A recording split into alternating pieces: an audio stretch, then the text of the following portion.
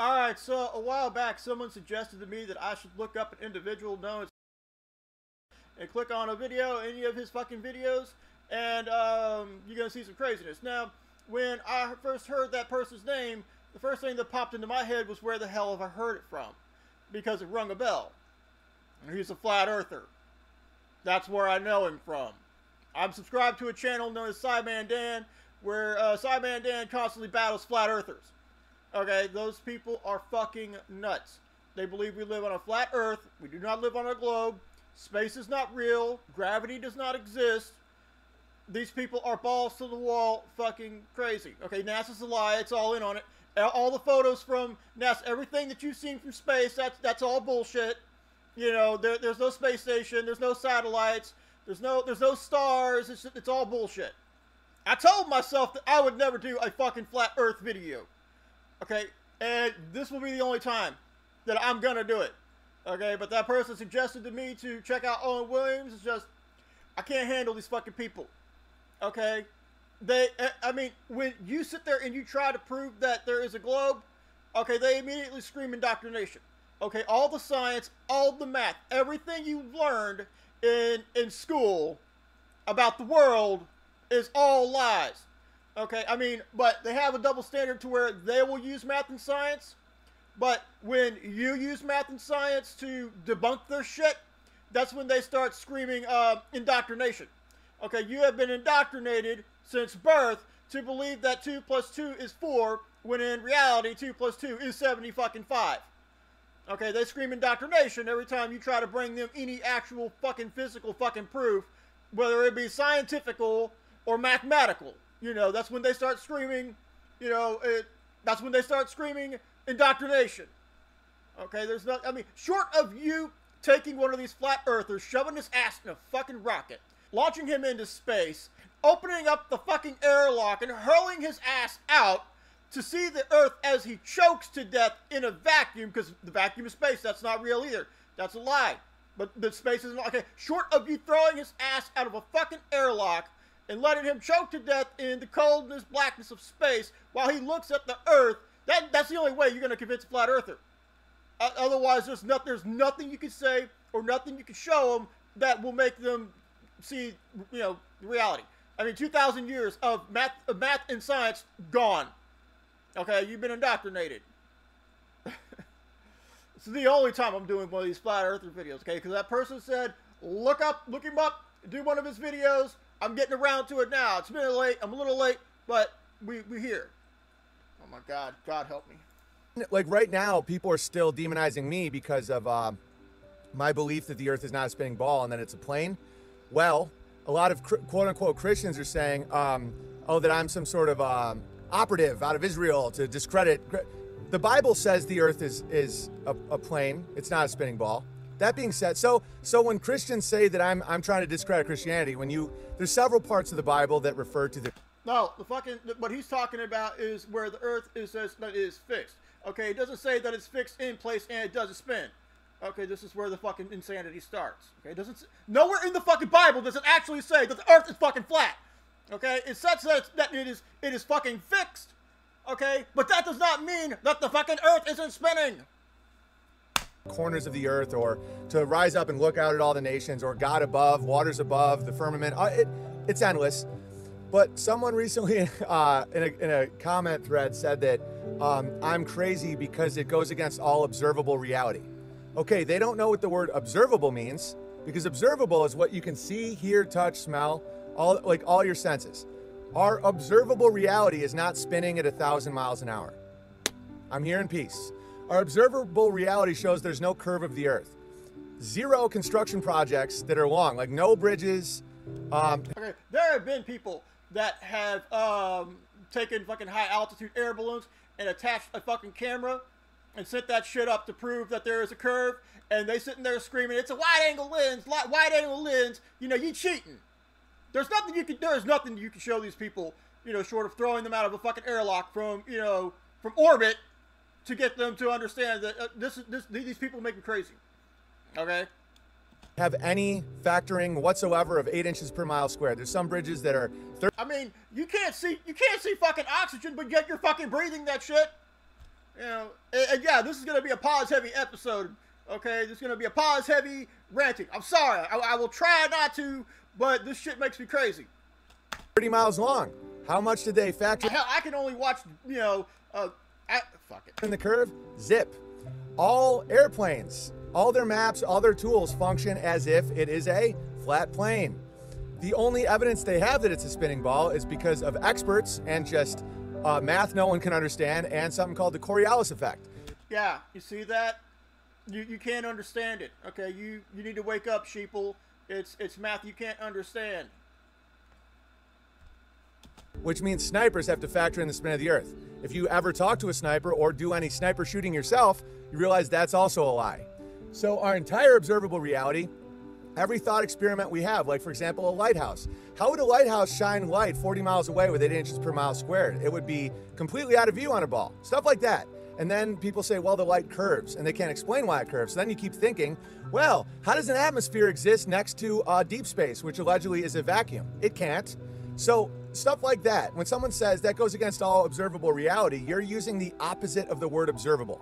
And I don't talk about flat earth that much because I know it, it rattles too many people's cages. You can start with the Big Bang being absurd. Something doesn't come from nothing, nothing comes from nothing. It's so absurd that now that you're seeing your, your cities being looted and burned because of Black Floyd and people are wearing uh, ball gags and masks because of a, a virus that's killed no one anyone ever knows. Yeah, COVID 19 hasn't killed anybody. Okay? Owen says so. Maybe it's time to start thinking about what history actually was. And then you look at the t- uh, Titanic, you look at World War One. Do you think it was actually started because people got so angry about the Archduke Ferdinand in Serbia?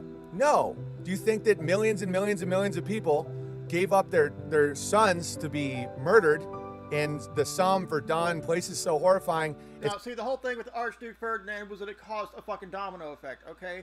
Yeah, the guy was a minor figure in history, but it caused the domino effect that led to the fucking First World War. I can't handle these fucking people, man, because, you know, it's like it's like dragging a horse to a fucking pitcher of water, you know, that's about to die from fucking thirst, and you can't make it drink.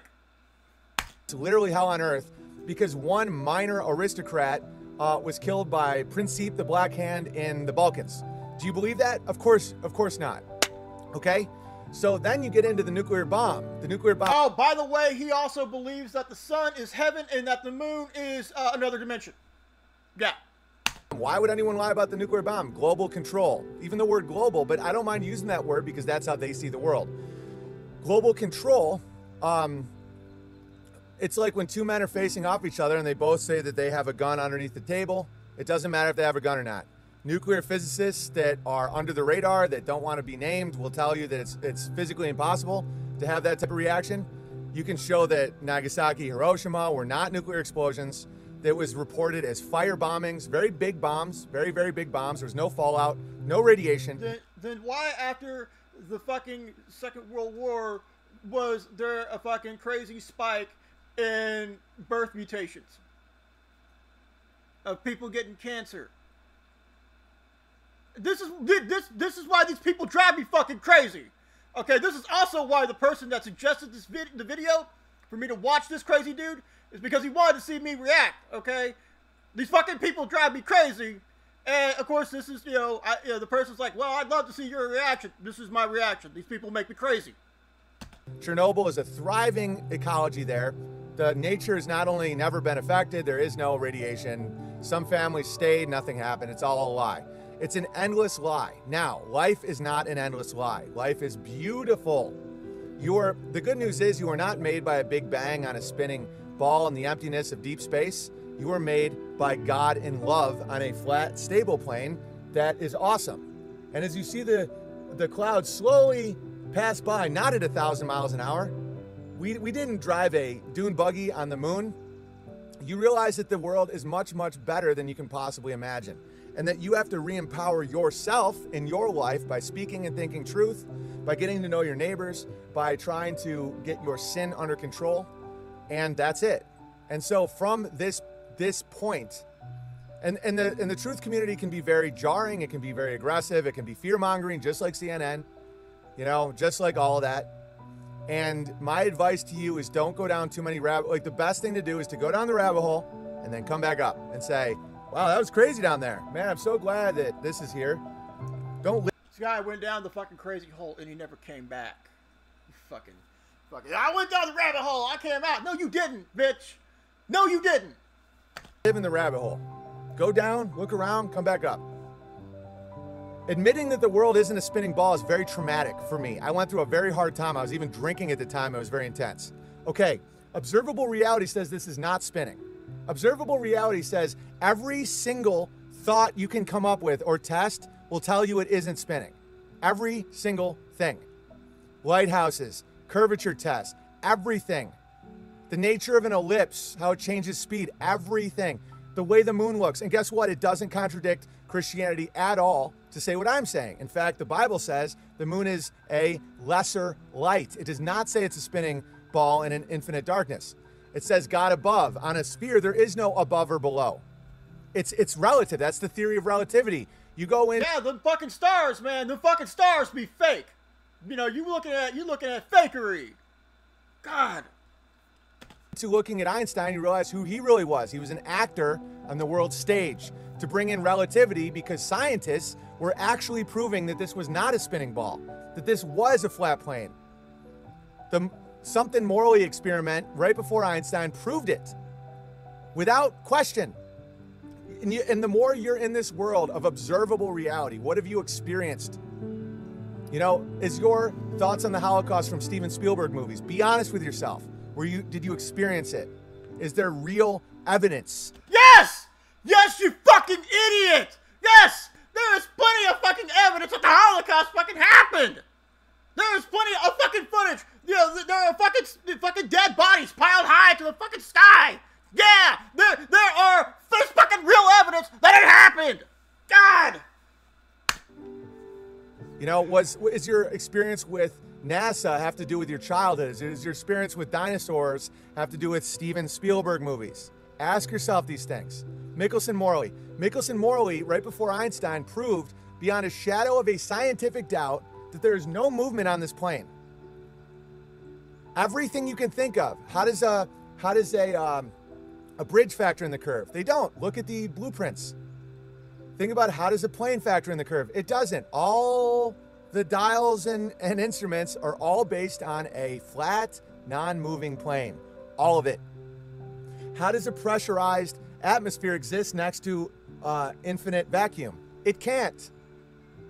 How did and then the more Yeah, okay, yeah, I know. You know, he, he he sits there and subscribes to this fucking dumbass theory that we are living inside a dome, and and the only thing that is keeping your fucking ass here on the ground isn't gravity.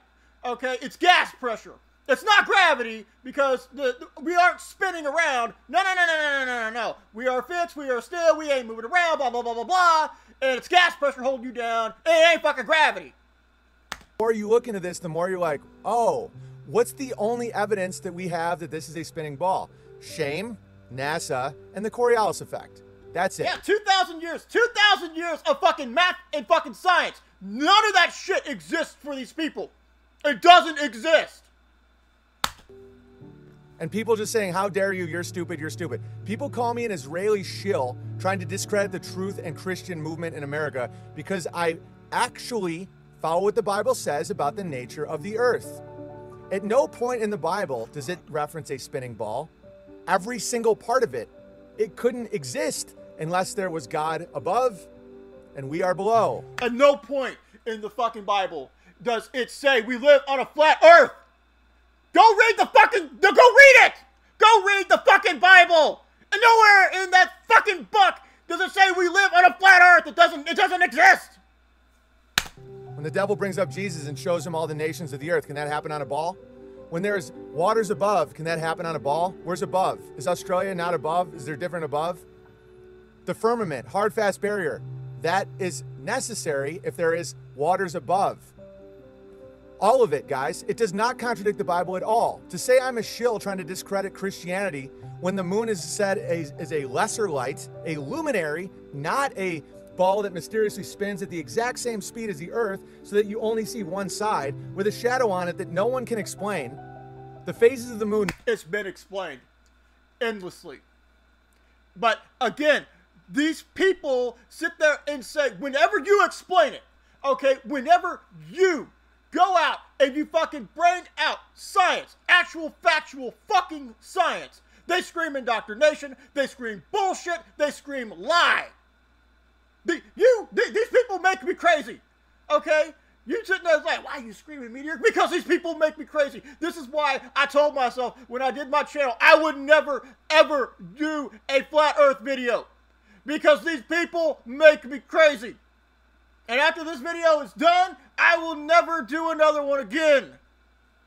No one can explain why it does that based on It's been explained. uh, mass media. It's been explained. This is what you'll run into in the truth movement. And and my what I suggest is you maintain your relationship with reality, what you see, what you hear, what you feel, what you smell, what you taste. Again, you can't see oxygen. You can't fucking see it. Does that mean it's not there? You fucking idiot! What do you think you're fucking bringing into your lungs at this fucking point? Huh? Where you're sitting here spewing up all this fucking nonsense. But what, what, what do you think you're inhaling right now? Argon? And the more you uncover, the more you know you are actually way more special than you could have possibly imagined. You are not a mistake, an astrological mistake after nothing came from something, or something came from nothing, from a little tiny bang.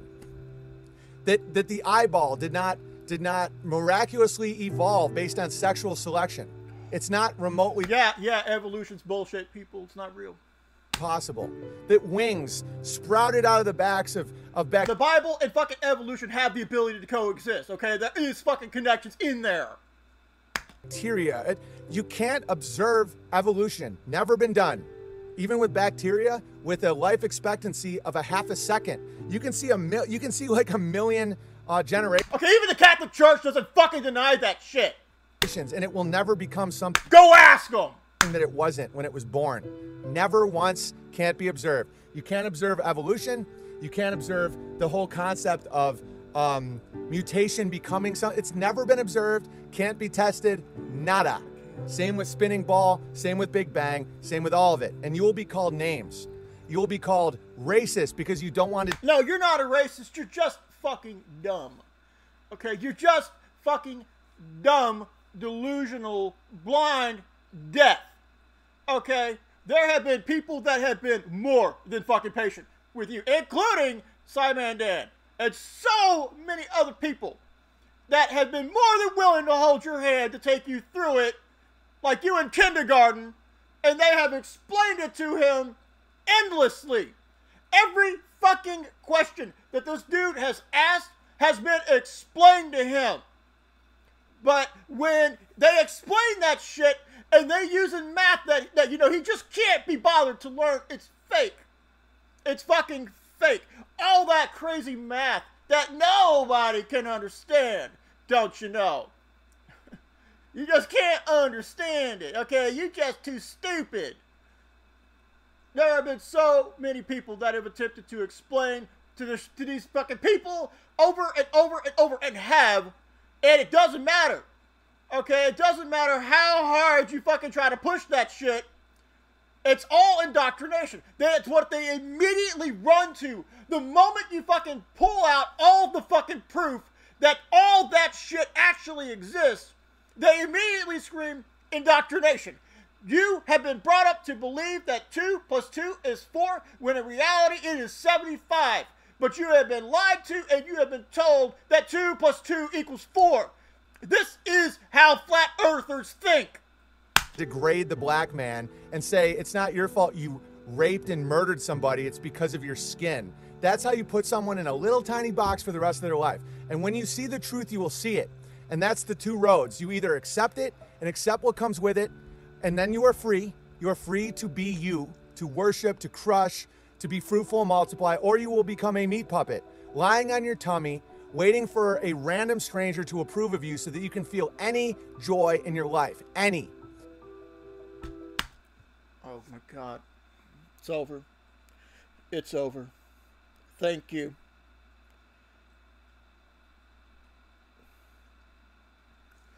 This is why I will never do another flat earther video. This is why I will never ever do another flat earth video on my channel. This is the only flat earth video you will ever see on this channel. Do you understand me?